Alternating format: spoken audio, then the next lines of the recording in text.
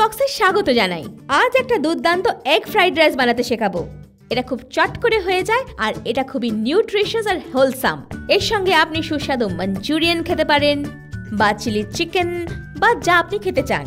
এই chicken fried রাইসটা সেদ্ধ ডিম দিয়েও বানানো যায়, কিন্তু আমি এটাকে স্ক্রাম্বল এগ দিয়ে বানাবো। আসুন দেখে নি কি দরকার। এই এগ ফ্রাইড রাইসটা বানাতে যা যা লাগবে তা হলো অফকোর্স ডিম, আমার কাছে কিছু ভাত আছে, কুচনো গাজর বেল পেপার কুচনো পেঁয়াজ কলি স্টার আনিস আর মেস সরু করে কোচানো রসুন, সামান্য সয়া সস গোলমরিচ গুঁড়ো, সামান্য ভিনেগার তেল আর স্বাদ মতো নুন। এই জিনিসগুলো আড়াই কাপ চালের জন্য দরকার। আমার কাছে পাঁচটা ডিম আছে যেগুলো আমি ফেটিয়ে নিয়ে সাইডে সরিয়ে রেখে দেব।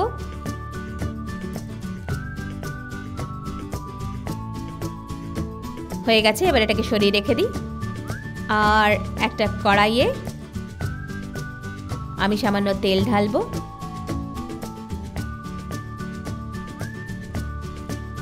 আর এর মধ্যে একটা স্টার আনিস দিয়ে দেব আর একটা মেস দেব।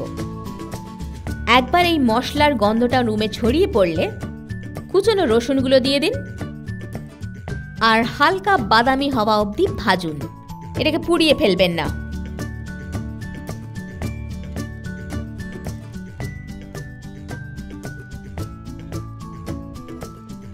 এর মধ্যে আমি অ্যাড করতে চলেছি পেঁয়াজ কলির সাদা অংশটা।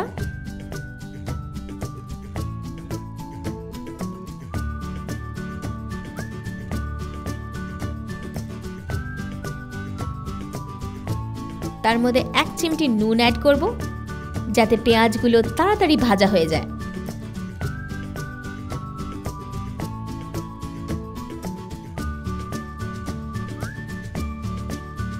একবার পেঁয়াজ, কলি আর রসুনগুলো ভাজা হয়ে গেলে এর মধ্যে আমি কুচনো গাজরগুলো দিয়ে দেব।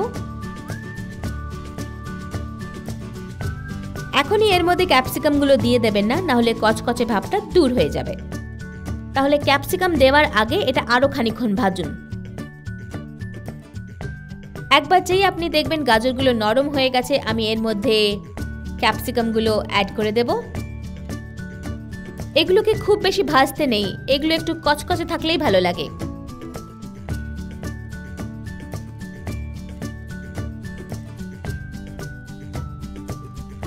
আমি সবজিগুলোকে একটা দিকে সরিয়ে রেখে দিয়েছি প্যানের। আর এর মধ্যে আমি ডিমটা দিয়ে দেব স্ক্র্যাম্বল করার জন্যে।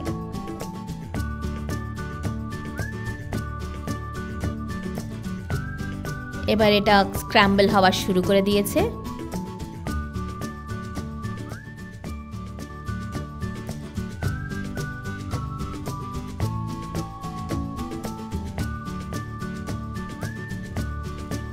গ্যাসটা আমি বন্ধ করে দিয়েছি। কারণ ডিমটা যাতে পুড়ে না যায়।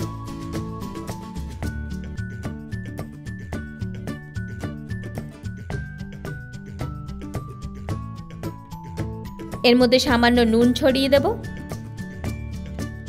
সবজি আর ডিম দুটোতেই।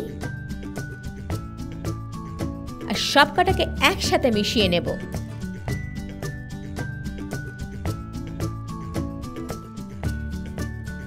গোলমরিচ গুঁড়ো দিন যতটা খুশি আপনার ইচ্ছে মতো।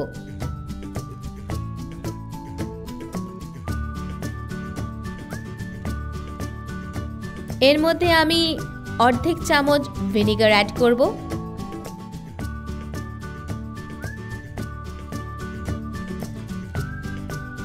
আর সামান্য সয়া সস।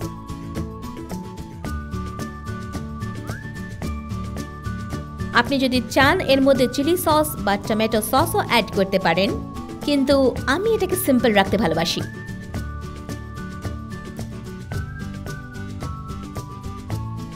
এবার এর মধ্যে পেঁয়াজ কলির সবুজ অংশটা দিয়ে দেব। আর সবকাটাকে একসাথে মিশিয়ে নেব।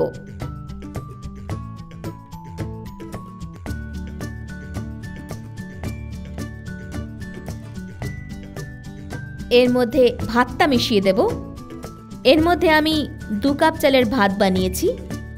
এটা এর মধ্যেও রান্না করা হবে, সেজন্য খুব বেশি সেদ্ধ করবেন না। কারণ আপনার তো কোনো দলা পাকানো ফ্রাইড রাইস খেতে ভালো লাগবে না।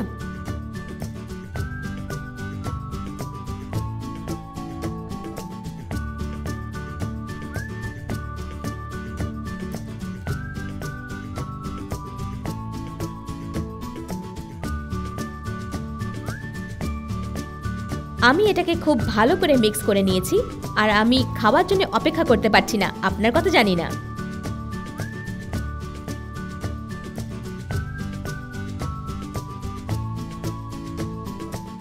এটা পারফেক্ট সুস্বাদু লাইট আর খুবই ঝরঝরে। আমার এটা শুধু খেতেই ভালো লাগে। আপনি যদি মাঞ্চুরিয়ান বা সস দিয়ে খেতে চান, তাহলে খান।